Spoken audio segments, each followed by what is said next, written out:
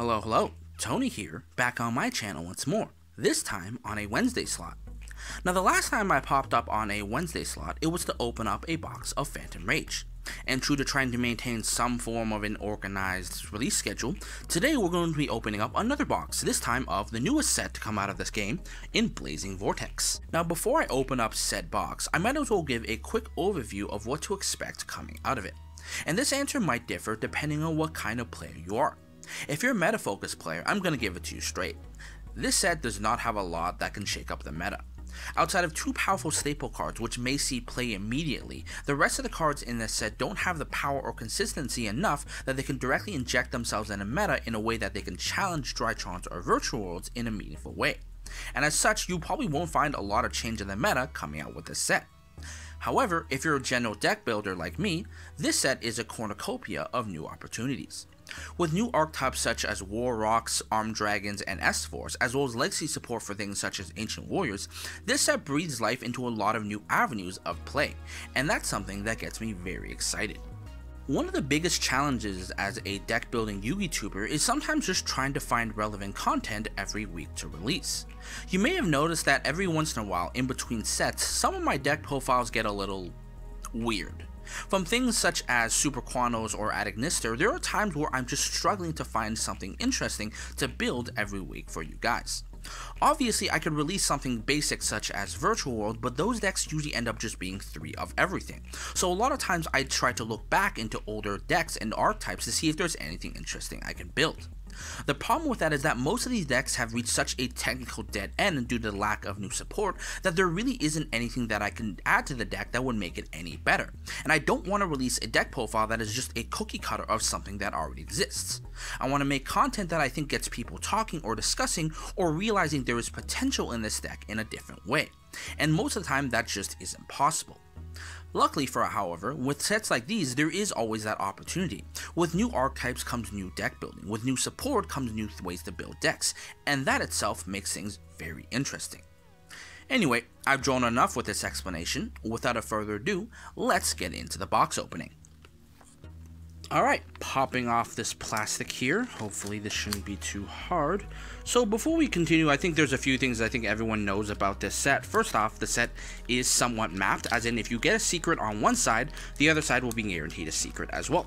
Furthermore, given the way that the set is designed, you're always guaranteed probably around 4 ultra rares, 2 secret rares, and then a bunch of supers. Thing to look out for here is obviously the new pot card, but ultimately, the goal is to just get a few cards from each archetype to know what we're going to build next. Anyway, let's get into it. Oh man, I'm excited. This set is very interesting, I'd say. I have taken a chance to look through everything, so if I, something comes up that's interesting, I will definitely mention it. Starting off, we have the new uh, Metalfoes card, which is really cool because it's nice that they continue to give Metalfoes, probably the most popular Pendulum archetype, a bit more support. Uh, unfortunately, though, the support at least in my opinion, isn't very good. But we'll, I'll discuss that as I get more cards. Pendulum Encore is another one. We have the new Knight of Armor Dragon, which is the next series in the Paladin series for the armor cards. We have new Ancient Warrior support, which is very interesting as well. We have a Materiactor, which is the, I guess, the recurring archetype going forward. That's something that we can be note of. We have a Spriggans card, something else for the Spriggans archetype. M Machina Unclasp, Spriggans Pedor, and a Archfiend Staff of Despair. So far, nothing interesting. Going on to the left side, what we have here is one Fairy Archer Ingunar. This is plant support, which actually might be very interesting depending on how you want to approach this. So this is something definitely that I think I'm going to build later. Uh, going on from there, we have new Dogmatika Genesis support. This is not pretty cool. A new Pendulum Monster. The reinforcement of army troops, probably the greatest debate of all reprinted cards.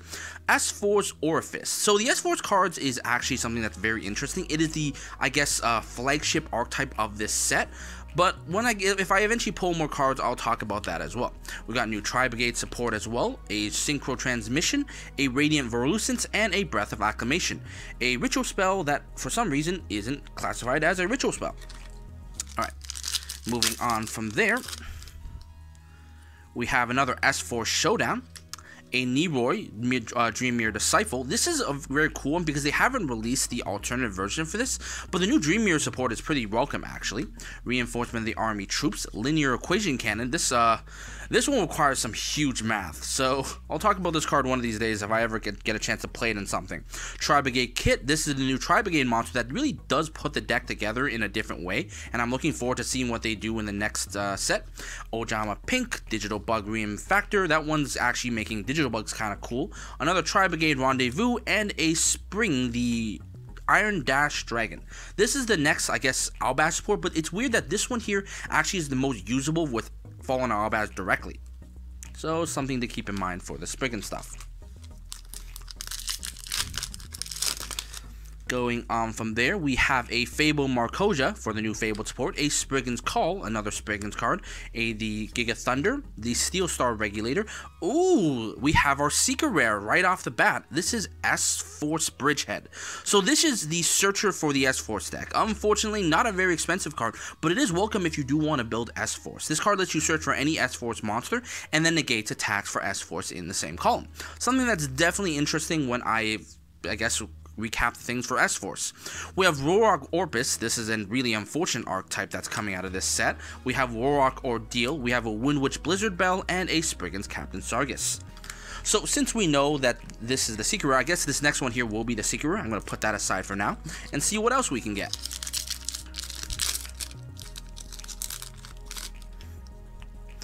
Okay, start off we have the Armor Dragon Ritual, we have another Ancient Warrior Saga, we have a Knight of Armor Dragon, the Head Heavy Metalfoes Amalgam, we have our Spriggan Ship Explorer. Okay, so this is a good time for me to talk about the Spriggan's archetype. So Spriggans here is an archetype that generally revolves around, so far at this moment, this card.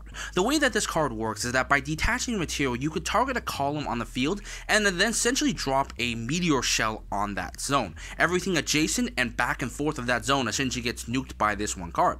The only issue is that outside of something like Captain Sargas, there's actually no direct way to Xyz into it. The way that you're supposed to Xyz summon into this card is by using a card called Golden Sea Gondola, which essentially should summon out any Spriggan's Xyz monster. It's a really cool idea of cheating out Xyz monsters and then just nuke the field. The only issue with the deck at the moment is two things. First off, the deck lacks any play on your opponent's turn, which is something that does become a huge issue when you're in a field that generally pushes out pretty hard. Secondly, the unfortunate part is that this, like the Tri-Brigades before, lacks the entirety of its support to do as good as it should. Right now, we still have ways to obviously access the field spell, which essentially allows us to get this out, but without the other support, it's not as good as it should be, and lacking another Xyz monster, it means that you're not pushing out the most. Regardless though, all the Spriggan's monsters have the unique effect to attach themselves onto your Xyz monster, essentially giving it more ammo to launch. But definitely, this is one of those archetypes that I look out for. In the next following set, we are getting a lot more support, some of it tying back to Fallen of Albaz, which makes this card, as well as all the other Spriggan cards, very good going forward. Getting back into our opening, we have the Virtual Gate Jiang Wu, the newest Virtual Gate card, a Stairway to the Fable realm, a Fabled support. We have Fabled Beaver for the Beaver fun, and the Fabled Treason. There's actually a lot of fair Fabled support in this archetype, but unfortunately, Fabled isn't very good for some reason. Anyway, going on from there, what we have next is a Dogmatika Genesis, the Parametalfoes Fusion, an S-Force Showdown, a Neroy, the Dream Mirror Disciple, a Fabled Anderaith, which is the Fabled Synchro monster coming out, Tri-Brigade Revolution, Synchro Transmission, Radiant Vorlucence, and another Breath of Acclamation. Okay, I think we're almost down the middle here. We're almost halfway through. And so far, outside of the bridgehead, nothing of interesting to note.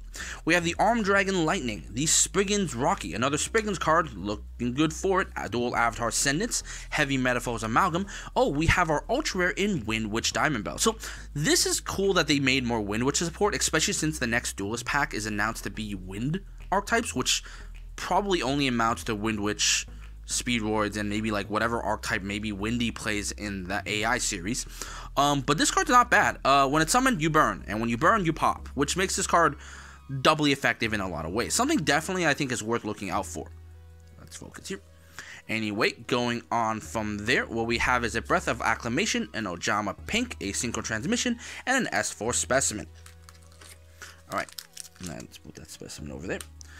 Moving on from there, well, since we got an Ultra on that side, we should get an Ultra on this side. We have the Parametalfoes Melcaster, we have Dual Avatar Ascendance, we have another Neroy, a, a linear equation cannon, a Virtual Gate Tutu. This is the Virtual Gate monster that is the last of the series, but it's definitely one that isn't being played at the moment. So, okay, so clearly this should have been an Ultra, so now I'm really confused.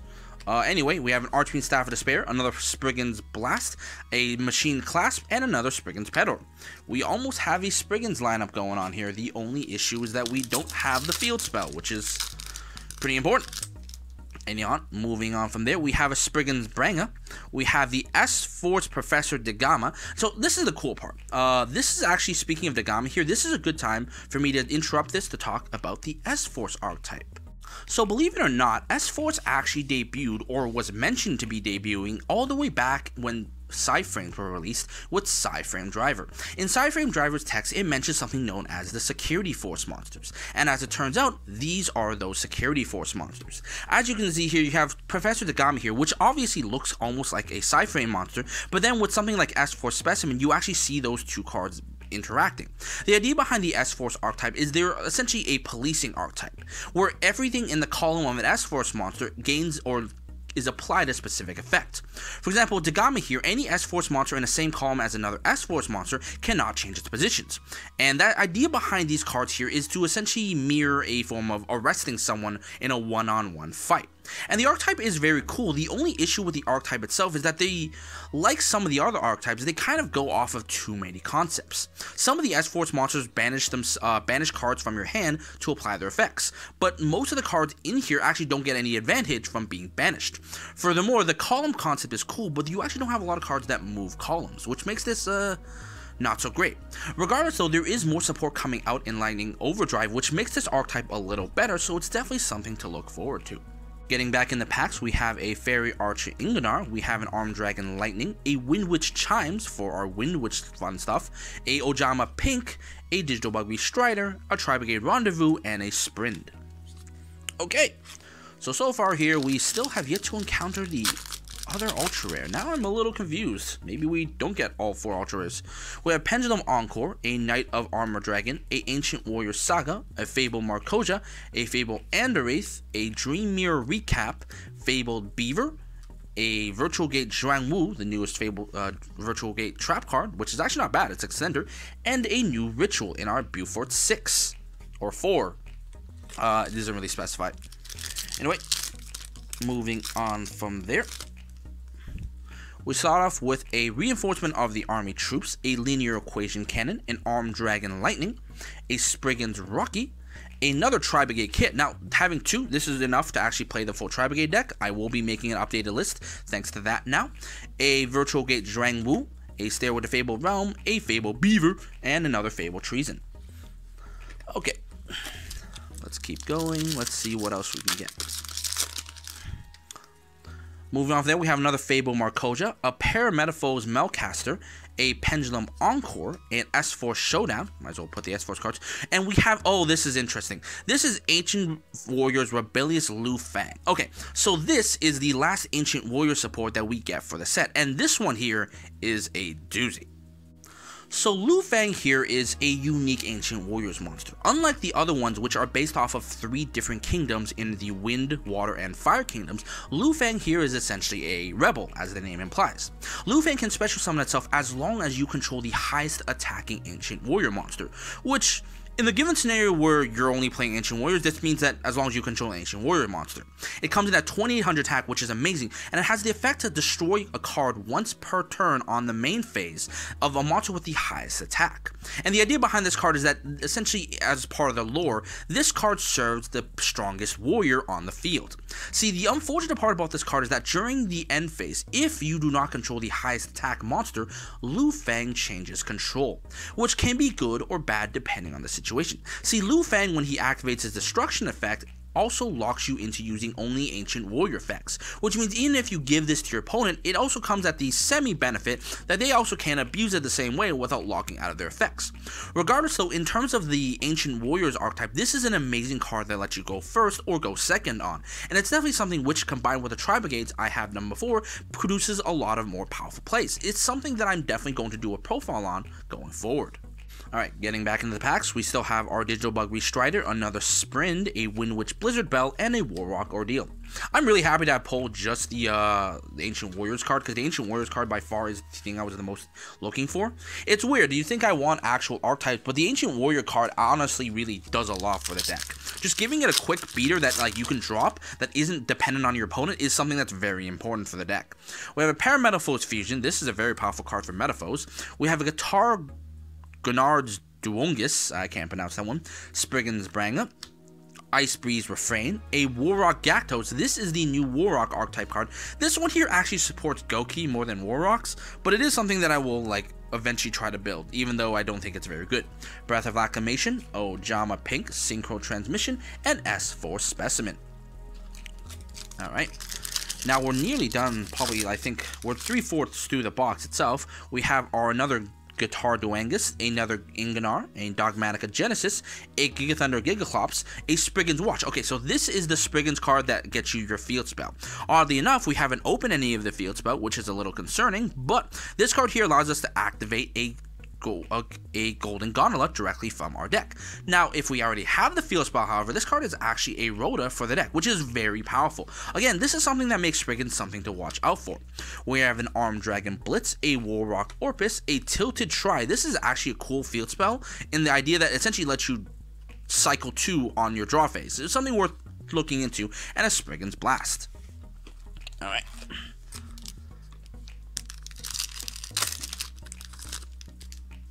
Going on from there, we have a Ancient Warriors Traverse Path, a Knight of Armor Dragon, a Heavy Metalfoes Amalgam, a Paraphos Melcaster, an Armed Dragon Thunderbolt. This is, I guess, Armed Dragon support if uh, anyone's interested in that kind of stuff. A Stairway to the Fabled Realm, a Fabled Owlbank, a Fabled Treason, and an Archfiend Staff of Despair.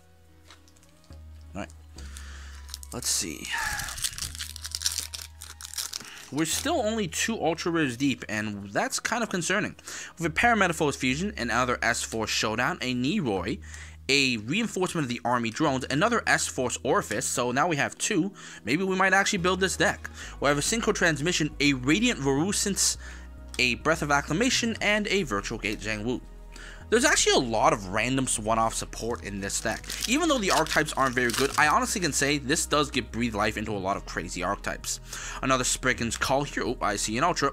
We have a reinforcement of the army troops, a Spriggan's Rocky, a Steel Star Regulator, and a dual avatar feat thing. Man, uh, this card really didn't fix the deck. It's disappointing that this is an Ultra, but eh, it's something, I guess. Uh, we have a Bufort 6, an Class Bear, and a Monoju, uh, Monokujaki. This card's kind of interesting. It essentially lets you uh, lock your opponent out of activating any special summon monster effects while you can share an attribute with this card, and you bounce their process from your opponent at the end phase. It's supposed to work, but in an archetype that's like right now with Drytrons and Virtual World, this really doesn't do anything at the moment, but it's something definitely I think is good side decking when the format changes. So once again, dual avatar card, Neroy, an equation, there should be an ultra here. We have a Skyler and a Wind Witch Freeze Bell. So this is new Wind Witch support. Uh, this one's just another extender, something definitely that's pretty cool, but it's not something that I guess at the moment makes Wind Witch very broken on their own. Uh, when a Blast, an Unclasped, a Pedor, and another Staff of Despair. So I think at this point we've covered all four Ultras, so the only thing I guess to look forward to really is the Secret Rare, but we still get some cool Supers, I guess. A Reinforcement, an Armor Dragon Ritual, a Ancient Warriors, the Armor Dragon itself, another Armor Dragon Thunderbolt, Restrider, Sprind, Windwitch Blizzard Bell, and Warrock Ordeal. Alright. Going on from there, we have a Branga, that's pretty nice, a Refrain, a Marcosia, a Duongus, a White Baking. This card actually makes, for some reason, uh, Skull Servant pretty cool. Armor Dragon Blitz, another Pedor, and another Tilt to Try, as well as a Dream or Mirror Recap. Alright, so now at this point we are three packs left here. So well, well, four packs left with the Secret Rare in that pack over there. Unless we don't open a Secret Rare, and that's really bad. We have a Linear Equation Cannon, an Armed Dragon Lightning, a Spriggan's Rocky, a Dual Avatar Sendit, a Parametalfoes Azaltis. Okay, so since we pulled this card, I guess it's a good time to talk about the Metalfoes archetype as well. So Metalfoes obviously gets new support in this deck, uh, with the of course the one Pendulum Fusion monster, which has its own uses, but most importantly it's a few things. First off, we have the Parametalfoes Melcaster. This is essentially the counterpart to Bismugear. The only difference is, unlike Bismugear, which searches your deck upon destruction, Melcaster allows you to add back from your extra deck, assuming that you just can't activate the effects of the card you add back. Essentially, it's a good way to recycle your pieces, which you can then pendulum someone out, but it also has that nice benefit of just essentially being a another way to trigger your Metalfoes cards. The most important card, however, is this Parametalfoes Fusion. Parametalfoes Fusion here allows you to do a fusion summon with a monster on the field, but also one from your extra deck as well. This works really well with something like your Mithrilium, which benefits from bringing back Metalfoes monsters when it leaves the field. See, before, when you fused with Metalfoes monsters on your field, you essentially put them back into the extra deck, making in a link-based format where, unfortunately, pendulums coming out of the extra deck going, going to the extra monster zone, making Mithrilium less good. Parametalfoes Fusion essentially lets you always get a recovery back with that Metalfoes Mithrilium. The interesting cards also wise is this Metalfoes Amalgam, which is I guess the replacement for Electromite. Really doesn't do it for you, but Azalthias is very interesting as well. First off, it's a Pendulum Fusion monster, with that unique effect where if it's destroyed, it goes into the scale. While it's in the scale, if a Metalfoes monster will be destroyed by any means, you can pop a card. Which means not only can you trigger with your other Metalfoes cards by blowing up your Metalfoes monsters, but it also works when your opponent decides to be aggressive on you by popping them with card effects. More importantly though, because it's a pendulum monster, the odd chance where this goes into the, gets destroyed, if you don't choose to put in a scale, it goes to the X deck, which means you can pendulum summon it out again. Which is nice because when it's special summoned, you could put back two of your Metalfoes monsters in your X deck to target a card on the field and destroy it, making this one of the actual nicer ways to do removal on your opponent. But yeah, the Metalfoes support does have a lot of play. I think the names are more important, but I definitely want to experiment with this going forward. Anyway, wrapping up the packs here, we have that Fable Realm, another Beaver, a Treason, a Archfiend Despair, two packs left. Let's keep going and wrapping this up. We have a Giga Thunder Gigaclops, a Arm Dragon Ritual, a Genesis, a Manifold Fusion, nice. A Constellar Caduceus, if you're, uh, I guess if you're interested in playing Constellars, it's not bad. A Warrock Orpus, a Warrock Ordeal, a Blizzard Bell, and another Captain Sargas. It's weird, despite the fact that Sargas is one of the only ways that directly makes Spriggan's Explorer, you probably aren't going to play uh, that in general. We have the Heavy Metalfoes Amalgam, another Melcaster, a Dual Avatar Ascendance, a Neroy, a Psychic Eraser Laser. This is the new, I guess, card that it's like a Soul Taker, just a little better, a little worse in certain cases. It's something, again, definitely to look out for. We have a Buford 6, a Unclassed Bear, and Monojukaki, and a S-Force Specimen. And now finally, the other secret rare, the moment that we've all been waiting for. Let's see what we get out of this one. We have a Linear Equation Cannon. We have a Skyrock Skyler. A Giga Thunder Gigaclops an Arm Dragon Ritual, and I think this should be the secret rare. And we have an Arm Dragon Thunder level 10.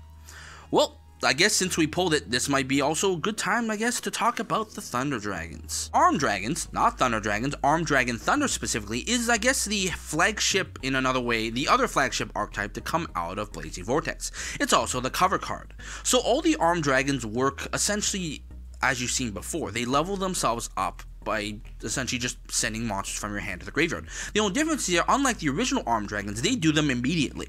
So Arm Dragon level 3 can send its a monster from the hand to the graveyard to go to level 5, level 5 can go to 7, and 7 can go to 10. The nice part about these Arm Dragons is that the Arm Dragons at a higher level per se, or at any level, when they're discarded to activate a Dragon Monster effect, they do get additional effects, meaning that they're a lot more efficient than the original Arm Dragon archetype. Unfortunately though, the archetype itself isn't that powerful, but they do have a lot of lore or like anime references to the original, I guess, player, which was Chaz Princeton. And uh, whenever I build that archetype, when the archetype isn't god awful expensive, I guess I'll talk about those references. Regardless, though, the rest of the pack isn't that interesting, but I guess with both our secrets let, I say that we are done for our Blazing Vortex box. And that's going to do it for our Blazing Vortex box opening. Uh, honestly, probably didn't open necessarily what I wanted, but we did open a bit of everything. And it does give me a lot of deck options going forward. I think given what we've opened, I we're definitely probably going to build Metalfoes first because it is the easiest of the things to build, especially when they come out. But going forward, we have things like Tri Brigade with the Ancient Warrior setup, or I guess the other way around. We have S Force when we can get all the secret roots. Thunder Dragon definitely because I think that archetype is worth showcasing, and eventually maybe a few meta decks that get support. Regardless though, my name is Tony Yang. This has been a Blazing Vortex box opening. I hope you enjoyed it, and I will see you guys next time.